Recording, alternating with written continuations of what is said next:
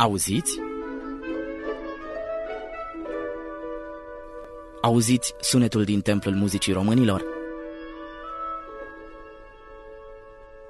Acesta este Ateneul Român, o splendoare construită acum mai bine de 126 de ani de către un arhitect francez la dorința unui rege cu sânge german pentru un popor care dorea să lepe de balcanismul.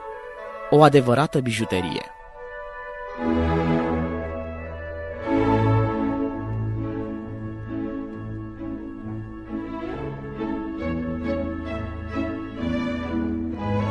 Nimic legat de Ateneu nu este rodul întâmplării.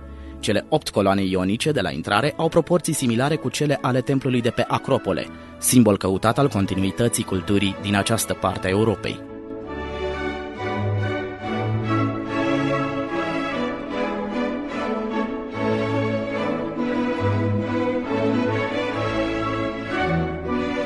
Cei cinci mari domnitori ai țării, Neagoe Basarab, Alexandru cel Bun, Vasile Lupu, Matei Basarab și Carol I, îți deschid ție, românule, calea spre locul în care nu vei găsi mediocritate, subcultură sau banal.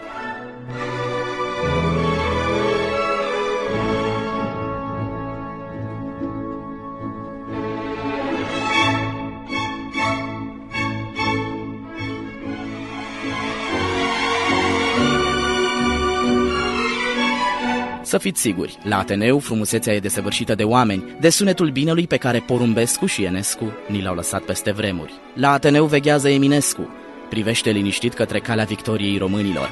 Eminescu, cel care a cântat cel mai frumos în versuri doina acestui popor. Eminescu îți spune ție, călătorului, bine ai venit în bijuteria neoclasică din inima Bucureștiului. Aici suntem cu adevărat noi înșine. Aici cântă sufletul românesc.